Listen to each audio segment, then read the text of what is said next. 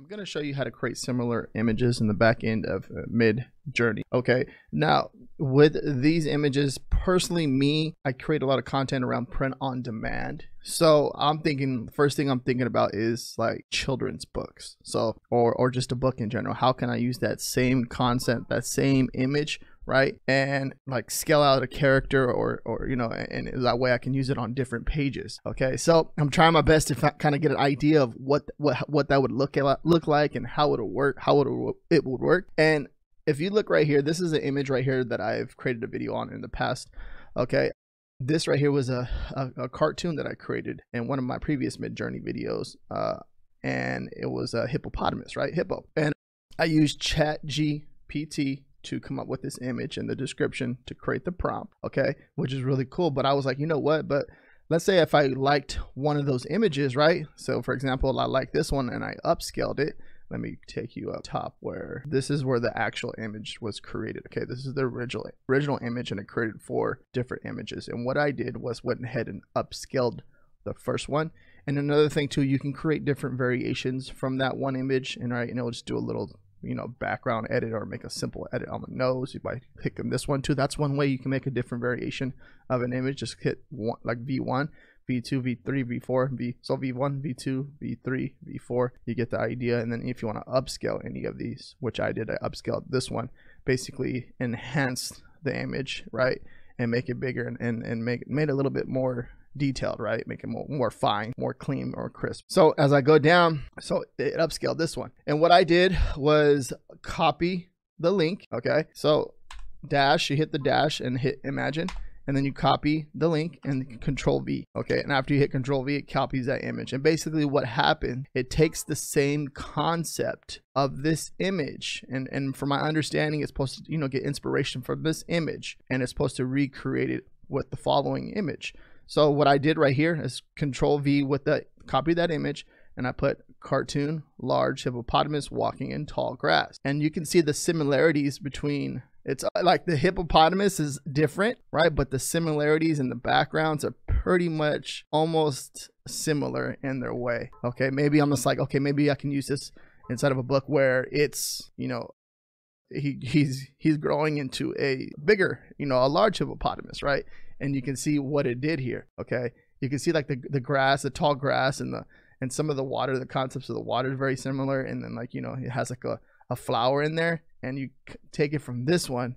And you can see what it did. Like the, the, the flowers are okay, but they're more detailed, like in these in these images, right? You can see. Okay, so I did it again. It was like, you know what? Let me try cartoon hippopotamus drinking water. And that's what I did after I copied and pasted that link and it brought out this image. Okay. Now, for my, like when I'm looking at this, obviously the hippopotamus, it seems to be different in every single image, but it's like similar in its way. Right. And I'm just messing with it and, and, and just trying to get an idea like, what can I do with this? Right. So you can see, go down to the next one. Now let's check this one out. Okay.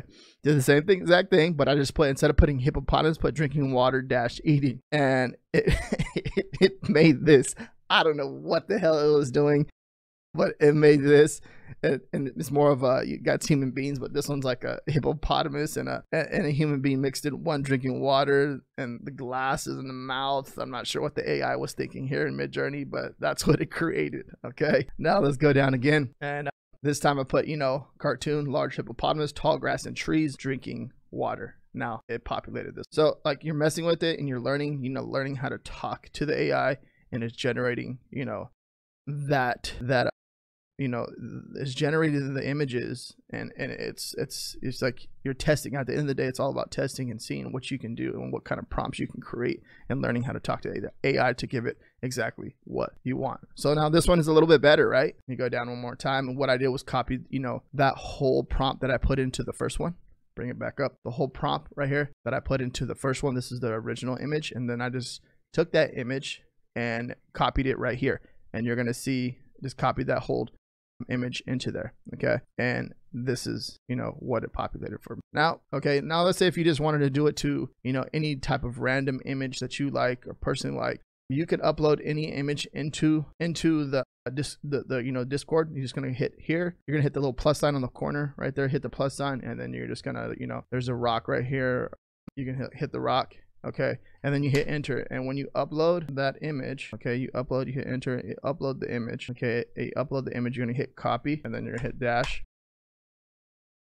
Rock johnson honest photo shoot water. Let's see what happens. And you're going to hit enter. Okay when you hit enter it's going to start to generate a prompt. Basically it's taking that link that you copy or you upload it into midjourney okay and I'm inside the Midjourney bot, the direct message, and you're gonna just upload it into Midjourney, and it's taking you copy that link from this this image right here, and it's getting the concept right, and it's going to populate it for you based on what that link that what you copied link, and it's gonna try as best as possible to generate something like that, but for the most part, it seems to be how would I say? It's like a I want to say like a 50 60 uh chance, but I think as it, you know, as it starts to get better and better, Midjourney that's going to understand, you know, the image and, and, you can probably create, you know, your own avatar and you're going to see the similarities right here that it, it, put out for us.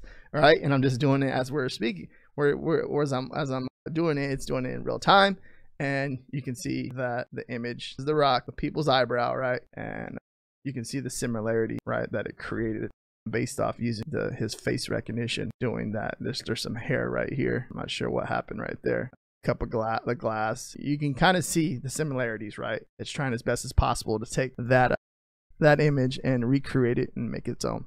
Now, one thing too, just kind of touch on anything after this, right? You're adding some more prompts in there at the end, you know, uh, different types of keywords to generate the image and help the AI create something for you. Messing with this, okay? Think about that too as well. Anything that in here, you have to maybe have to redo it. You don't like it, you can, you know, regenerate the image upscale, upscale, and then do different variations. If you like one, but you want to have it done a different way, you can do any of that inside of Midjourney. Okay, so showed you how to uh, create a you know a different well how to upload an image and try to get something as similar as possible using Midjourney.